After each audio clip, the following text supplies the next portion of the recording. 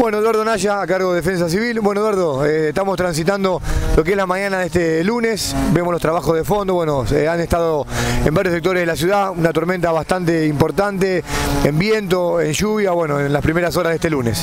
Tal cual, eh, sí, hubieron bastantes postes de luz caídos. Este, esto implica que este, tengamos mucha precaución, por favor, hasta que las cuadrillas de DEN solucionen todos estos problemas. Ya a esta media altura de la mañana ya tenemos seguramente un 50% solucionado, faltan casos bastante importantes, como, como líneas de media tensión, este, que en base a, como vos bien dijiste, la intensa lluvia, la gran cantidad de agua sumada un viento bastante importante, dio como consecuencia que tuviéramos algunos problemas de ese tipo. Pero bueno, ya prácticamente están todos eh, registrados y a media mañana ya eh, no tenemos más entradas de emergencia, ni en los teléfonos de, la municipalidad por el 103, recordamos que para emergencia tenemos el 103 de Defensa Civil, ni los bomberos con el 100.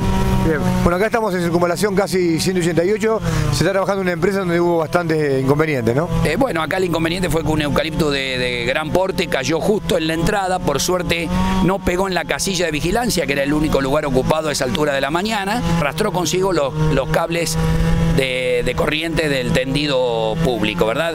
Y este, acá cabe la importancia de que el recambio que está haciendo Eden resulta tan importante, fíjate vos, que no llegó a cortar los cables, este, porque son cables de mucha resistencia, son los, los nuevos cables que está poniendo la empresa. Calculo que al ritmo que vamos, tipo mediodía, la ciudad está restablecida casi en un 100%. Bueno, como siempre, bomberos, municipalidad, Eden, trabajando en conjunto, ¿no? Trabajando muy, pero cada día más en conjunto. La verdad que sí, gracias a todos los que han colaborado porque la coordinación ha sido muy buena. Pero ese trabajo es fundamental y más en la, en la primera respuesta, ¿no? Sí, sí, sí, sí, esto es fundamental y también por parte de la sociedad que tenga la paciencia que requiere el caso, porque son tantas las situaciones eh, que la, la, idea es eh, primero tratar de atender aquellas más emergentes para después darle curso a todas las demás. Y, y como dijo usted, al 103 por cualquier inconveniente. Exactamente, ¿no? sí, sí, y que nadie arriesgue, que nadie arriesgue, o sea, vamos a cuidarnos entre todos, todos tienen que aportar su granito de arena, como es cuidándonos.